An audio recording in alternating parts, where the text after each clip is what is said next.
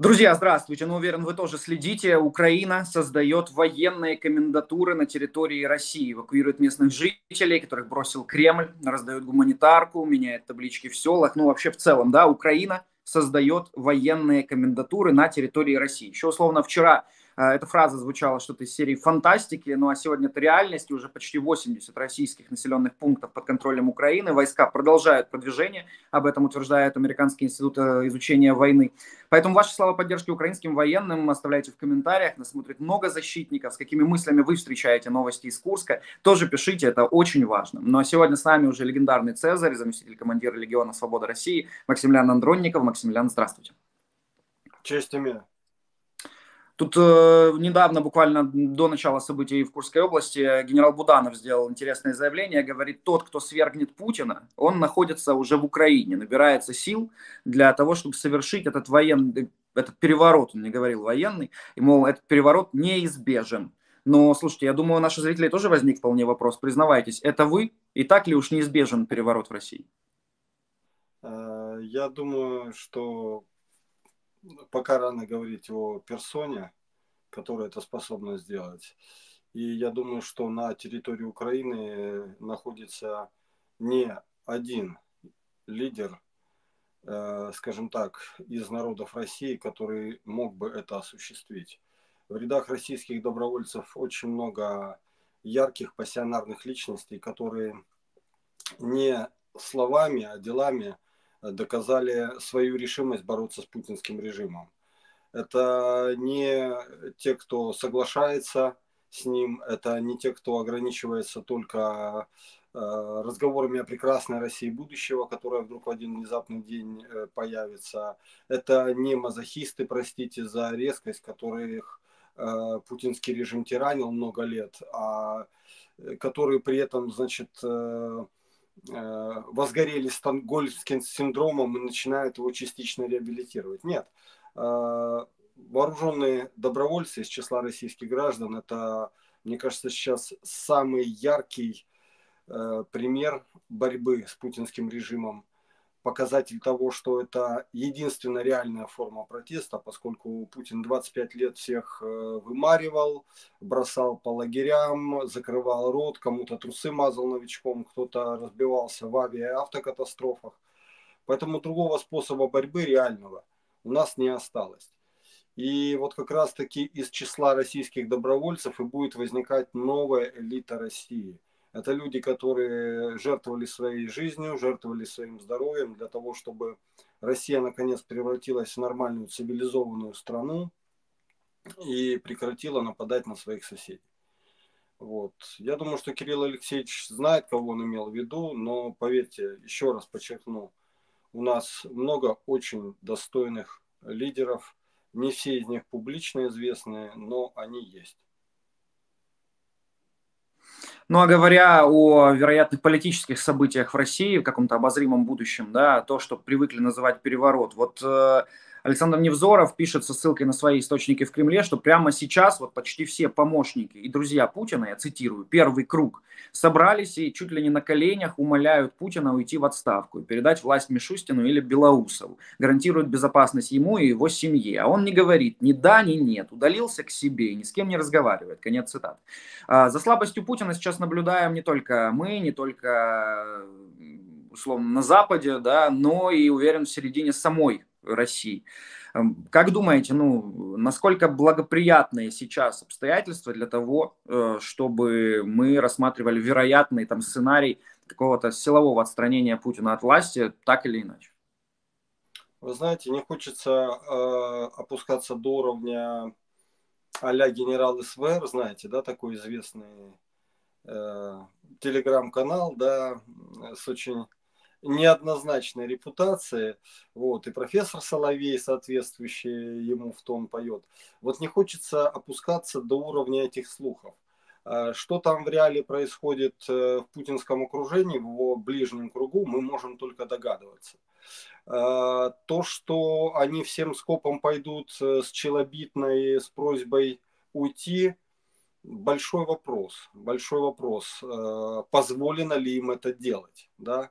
Э, позволит ли он им пойти с такой челобитной и не случаться ли с ними потом сердечные приступы, автокатастрофы и какие-то прочие интересные случаи, которые мы помним два года назад начались э, с менеджерами «Газпрома».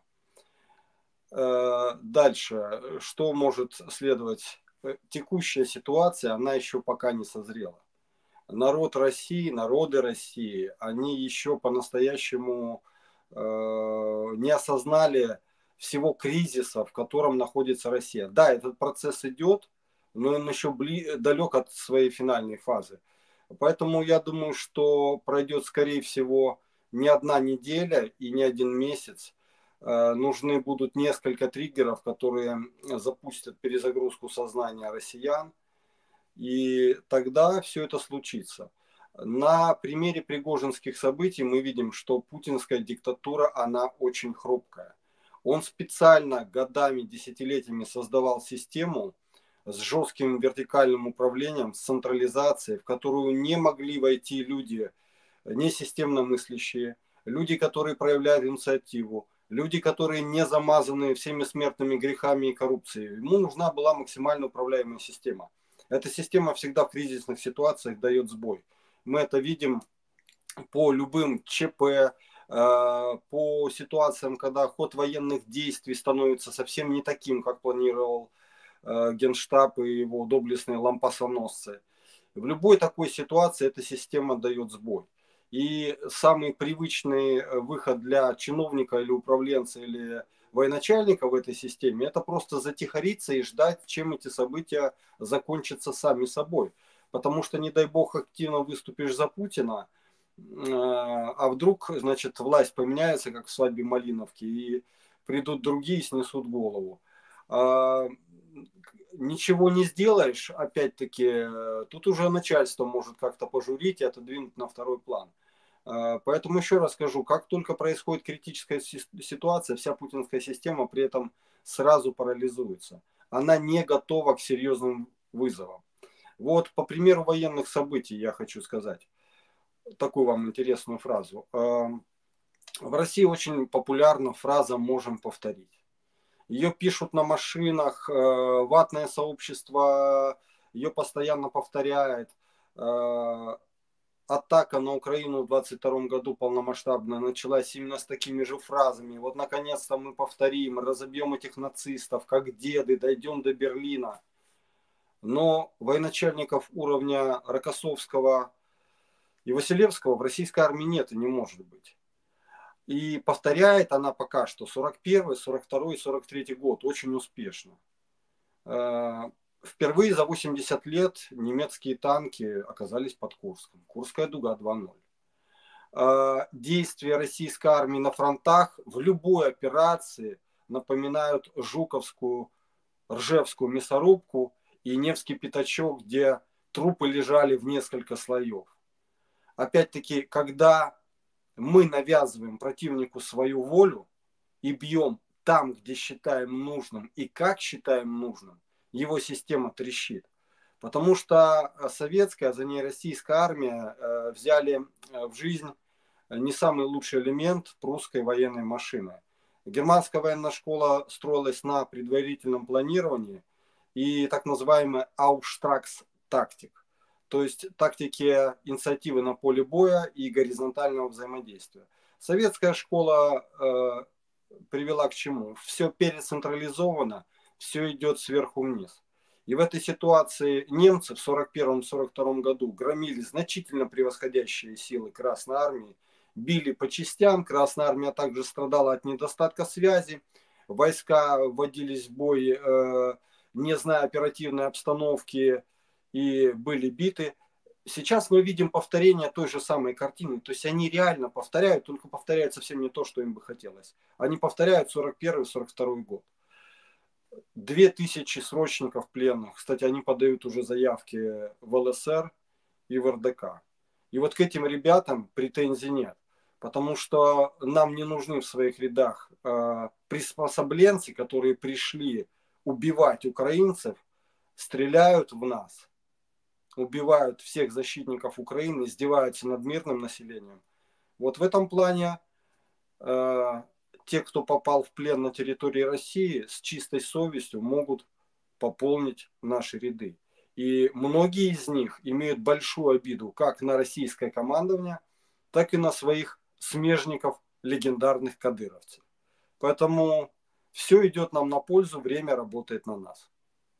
Я сегодня видел э, такой карикатурный шеврон подразделения Ахмат, где написано, значит, Ахмат, а лозунг такой «нас не догонят». Да, уже не первый раз демонстрируют ну, свою такую недееспособность э, эти подразделения. Мы помним, во время Пригожинского бунта они так и не доехали до столкновения с вагнеровцами. А, недавно вот, да, была история, появились в, в сети э, видеоролики, на которых пленные кадыровцы, некоторые из них рассказывают, что им запрещено сдаваться в плен, поэтому они пытаются просто отступать, когда э, есть вероятность какого-то боестолкновения. В целом, насколько сколько еще необходимо, как вы думаете, ну, вот таких случаев для того, чтобы вот этот вот миф о, который продвигает лично Кадыров, о том, что значит, у нас тут самое боевое подразделение, которое держит всегда границу на замке, он ведь был тоже в свой момент ответственным а, и своим словом гарантировал неприкосновенность российских границ. Вот э, насколько это сильно бьет по его, так сказать, реноме? Уже давным-давно в российской армии, в российском обществе не считают Кадырова и его тиктокеров какими-то достойными людьми. Он просто паразитирует. Они выполняют роль, э, скажем так, претарианской гвардии при Путине. Для чего? Э, если в каком-то российском регионе вспыхнет восстание, туда, естественно, постараются направить все части, которые находятся рядом но не факт, что какие-нибудь там, ну я не знаю, э, саратовские сотрудники полиции, Росгвардии или военной части, которые там расположены, э, будут с удовольствием гасить этот пожар. И не факт, что они не перейдут на сторону народа, когда они видят, что появилась субъектность, что кто-то дерзнул. А вот Кадыров, Шакал и его нукеры, они с радостью будут резать головы русским или другим э, коренным народам России. С радостью. Русских они ненавидят, мы это прекрасно понимаем все. Я подчеркну, э, к чеченцам, к настоящим, я испытываю искреннюю симпатию. Э, многие чеченцы являются моими побратимами, они сражаются с нами плечом к плечу. Это храбрые, достойные воины. И народ Чечни живет сейчас в состоянии страшного угнетения. Э, народ Чечни видит показную роскошь Кадырова, его семьи, его клана, всех его подельников – при этом в самой Чечне, я разговаривал с простыми чеченцами, страшная тирания, деспотия, не то что а, об отсутствии свободы слова речи не идет. Любого неугодного, если он, скажем так, из какого-то тейпа, который не пользуется сейчас, э, не находится сейчас в фаворе, его могут просто запытать до нечеловеческого состояния, выбить из него любые признания, потом одеть воинскую амуницию, вывести в лес, застрелить и подать это в Москву как успешно проведенную контртеррористическую операцию. Народ Чечни ненавидит Кадырова и боится.